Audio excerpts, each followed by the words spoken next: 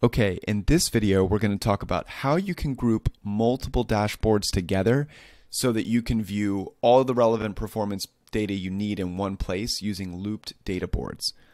This is especially useful if, let's say, you're the founder or CEO and you know that your team has created a bunch of important marketing or sales or product or customer support dashboards, but you want to pick certain dashboards, put them all together so that you can have a comprehensive view called overall company performance. Or let's say, for example, you're the sales director or you're the marketing director. Chances are that you've got multiple dashboards for the initiatives that you're running. So, for example, if I'm the marketing director, uh, my team might have dashboards related to SEO or website performance or brand marketing, paid ads, email performance.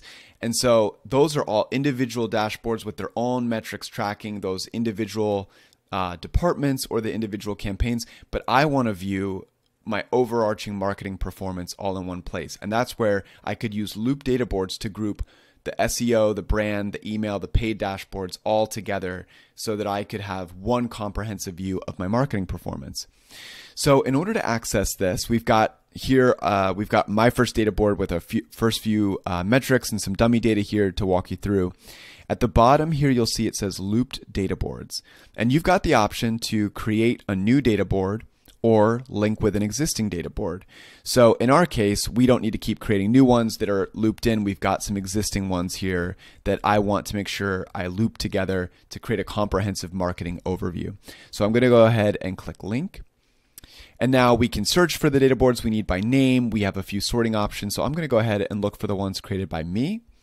And here they are. I've named them conveniently marketing SEO, funnel, and brand. So I'm going to go ahead and select these.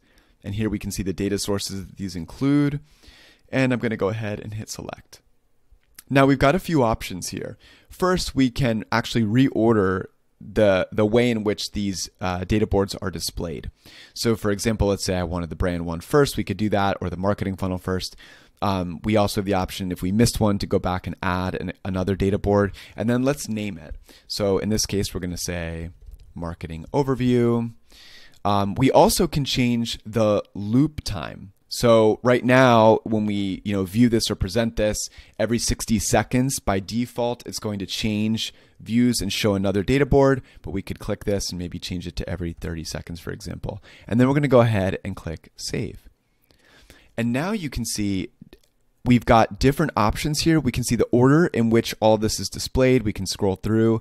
And now we've got the marketing overview loop. And now I can see all these Databoards in one place, all part of my marketing performance overview. So if I want, I can go back and edit the loop. Um, and then we've got the same share options here that you saw if you watched the share options for an individual Databoard. We have a link that we can share. So let's say that, you know, I want to send this to the CEO so he uh, he or she has full access to all of our marketing performance and marketing overview. I can share it as a link.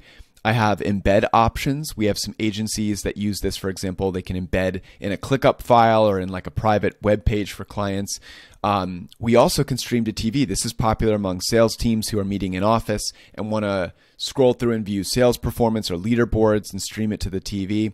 So we've got a lot of share options here for this loop, the same way that we would an individual Databoard. Okay, so let's go ahead and view the full screen option. If we click view loop, now we're going to view a full screen option. And this is where it's going to scroll through. We have a pause option here and we set the duration for 30 seconds. And so every second, every 30 seconds, excuse me, it's going to come through and scroll through all of these.